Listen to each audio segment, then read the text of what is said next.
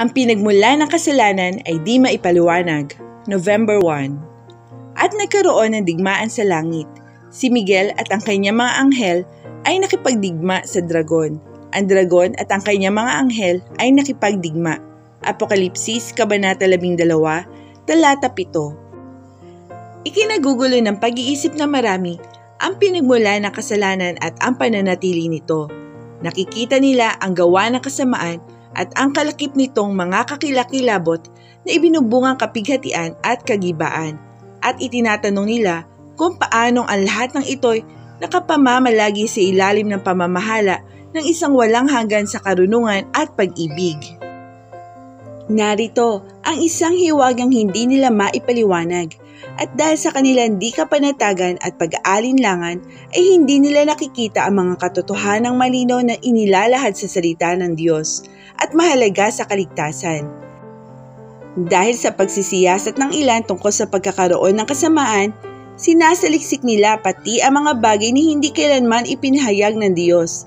Sa gayo hindi nila masumpungan ang lunas sa kanilang kagulumihanan at ito ang dinadahilan ng mga inaalihan ng pag-aalinlangan at pakutiyang pagtutol sa kanilang pagtatakwil sa mga pangungusap ng banal na kasulatan.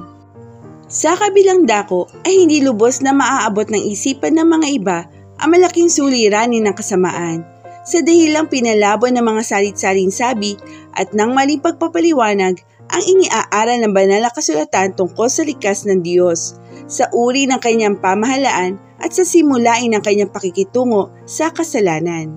Hindi maaaring ipaliwanag ang pinagmula ng kasalanan at kung bakit ito nananatili Subalit mayroon tayong sapat na mababatid tungkol sa pinagmulan at kauuwian ng kasalanan upang ating malaman ng lubusan ang pagkahayag ng katarungan at pagkamaawain ng Diyos sa lahat niyang pakikitungo sa masama.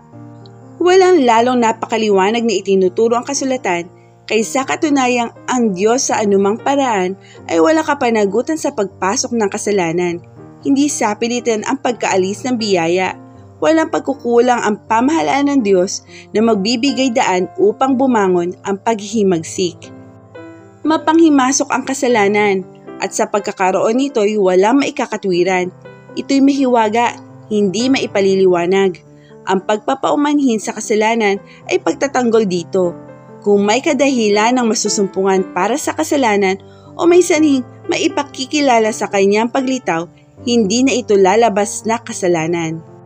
Ang katwirang maibibigay lang natin sa kasalanan ay iyon lamang nasusulat sa salita ng Diyos.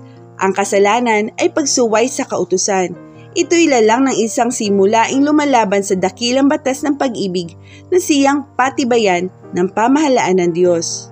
Ninanasan ng Diyos na siya'y paglingkuran ng lahat niya mga nilalang ng paglilingkod ng pag-ibig, ng paggalang na bumubukal sa matalino pagkakilala sa kanyang likas. Hindi siya nalulugod sa sapilitang pakipanig at binibigyan niya ang lahat ng malayang kalooban upang sila'y kusa makapaglingkod sa kanya.